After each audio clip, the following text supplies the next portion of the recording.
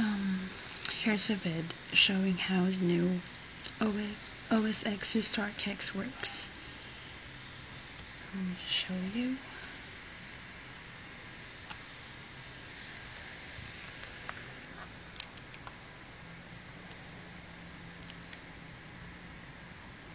There it is. So that's from InsanelyMac.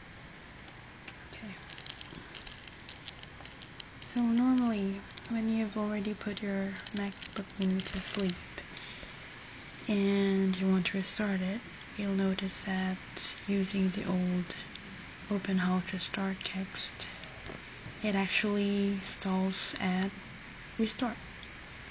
But with this new kext from InsanelyMac, I forgot who who made this kext, but um anyway, I'll show you.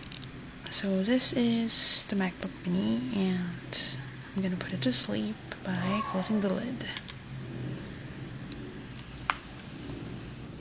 There, so Wi-Fi uh, light is off and you have a blinking power LED button.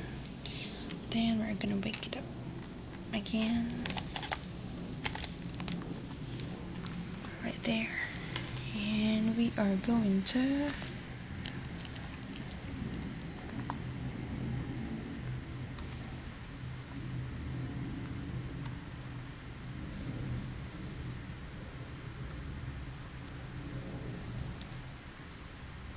you started.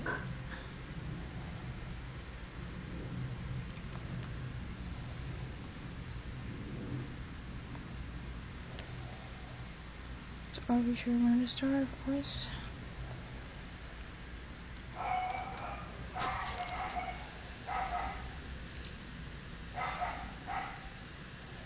Sorry about the dog. It's the neighbor's dog.